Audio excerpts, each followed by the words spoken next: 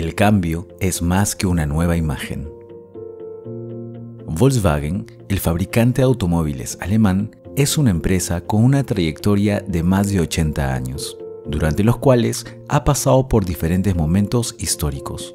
Pese a que algunos han sido claramente negativos, como su participación en la Alemania nazi en la Segunda Guerra Mundial o el escándalo de emisores contaminantes de finales del 2015, esta marca ha sabido superar diversas crisis y se ha consolidado como un referente innegable de éxito comercial no solo en la industria automovilística, sino en todo el sector empresarial a nivel global. Volkswagen significa literalmente el auto del pueblo y surgió en el año 1937 cuando Adolf Hitler, con el fin de potenciar la industria automovilística alemana, puso en marcha un proyecto con el fin de construir la fábrica de coches más grande de Europa y producir en ella autos económicos, sencillos y accesibles para la población alemana.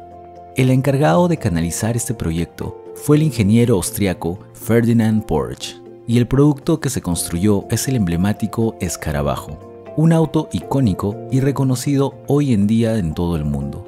Con el tiempo, Volkswagen se convertiría en una empresa multinacional y actualmente es la propietaria de otras marcas como Audi, Bentley, Lamborghini, Porsche, Seat y Ducati, entre otras.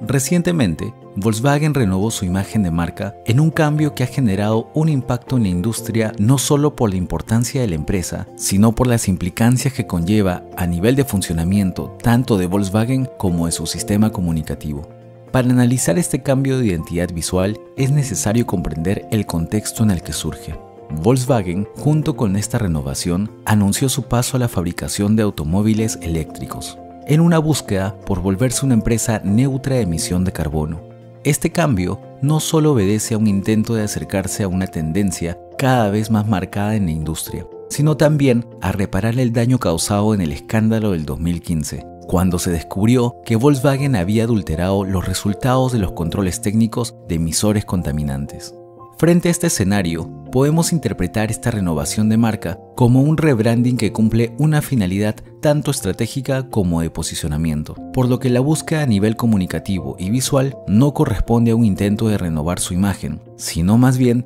de sustentar sus fundamentos mientras la marca emprende una nueva dirección. El foco principal de este cambio recae en el logo, el cual se ha simplificado con el fin de modernizarlo y hacerlo más legible. Mientras el logo anterior era tridimensional y empleaba líneas interiores, el nuevo logo reduce toda la información a sus aspectos más esenciales y consiste simplemente en un relleno que mantiene la ya legendaria BW dentro del círculo, Además, los vértices de la B y de la W están ahora redondeadas con el fin de generar una mayor fluidez en sus formas. A nivel cromático, la marca ha optado por mantenerse en el color azul, pero ha abandonado el degradado anterior por un azul pleno, más oscuro e intenso. Adicionalmente, ha sumado un celeste a su paleta cromática como color secundario para romper con la seriedad del tono oscuro y reforzar aún más la idea de modernidad y tecnología. El resultado es una paleta que se acerca mucho más a la asociación con la electricidad que la marca busca definir. En esta línea, el siguiente recurso gráfico de mayor importancia es el uso de un cuadro móvil formado por líneas, el cual no solo busca reforzar la idea de movimiento y asentar el concepto de la electricidad, sino que, en medios digitales, ayuda a romper con el parámetro de colocar el logo siempre en un único espacio, ya que el cuadro, al moverse a lo largo de la pantalla, permite un posicionamiento variable del logo en la pieza, así como la generación de interfaces más sencillas, directas y amigables. A nivel tipográfico, la marca mantiene su uso de una fuente humanista con formas tradicionales y toques modernos, pero pasa a emplear para textos un peso más fino, lo cual ayuda a completar la vinculación con el contexto tecnológico y eléctrico, aunque mantiene, para partes destacadas de texto, pesos bold, que generan también un contraste con mayor impacto visual. Otro punto a destacar es que han decidido desarrollar un logo auditivo, un recurso que cada vez más empresas de alto perfil emplean para generar reconocimiento. En esta misma línea, en su publicidad han cambiado el uso de una voz masculina grave por una femenina para promocionar sus automóviles.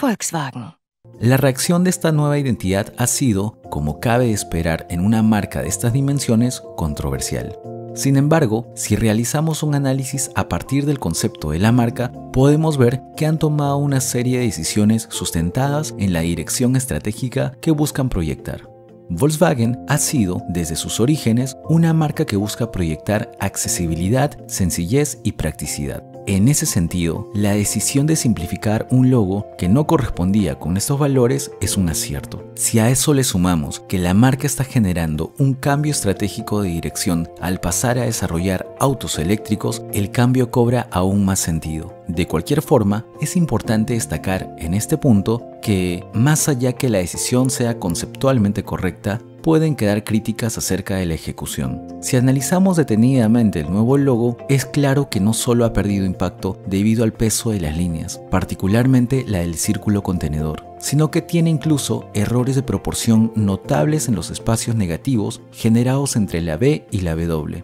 y entre la W y el círculo los cuales incluso generan un ruido visual que se vuelve más intenso conforme el logo se reduce de tamaño. Sin embargo, aunque estas imperfecciones pueden ser percibidas como un error, también es cierto que le aportan una personalidad distintiva, ya que un diseño matemáticamente impecable puede a veces percibirse como excesivamente rígido y parametrado. También es interesante observar el uso de este logo en el producto mismo, es decir, en los automóviles. Desde su impacto visual se ve reforzado por el uso de los materiales, el metal y la profundidad, generando una sensación de modernidad y tecnología que Volkswagen buscaba destacar. Por otro lado, el uso del cuadro móvil y de las líneas para su comunicación no solo es un recurso sencillo y práctico que permite proyectar correctamente el atributo de la electricidad, sino que refuerza la simplicidad y el dinamismo que Volkswagen busca emplear en su nueva identidad caracterizada por la legibilidad, la sencillez y la modernidad.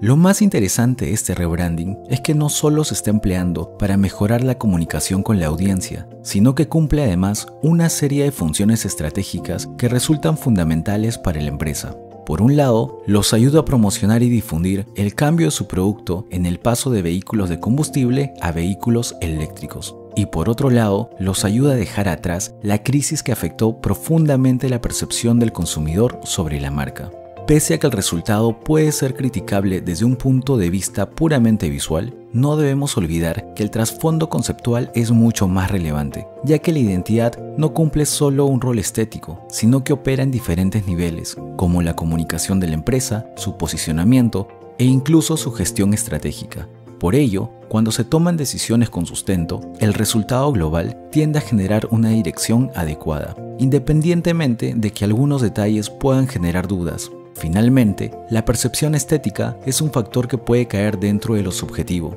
pero mientras una marca tenga un concepto claro y tome decisiones coherentes para potenciarlo, se acercará a sus objetivos y generará una conexión más auténtica con su público.